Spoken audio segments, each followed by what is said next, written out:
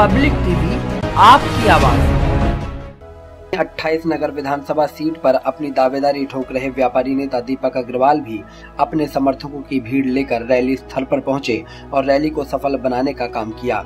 दीपक अग्रवाल ने कहा कि एक बार फिर भाजपा का कमल खिलाना है और सरकार बनानी है। आपको बता दें कि 28 नगर विधानसभा सीट पर व्यापारी नेता दीपक अग्रवाल ताल ठोक रहे हैं।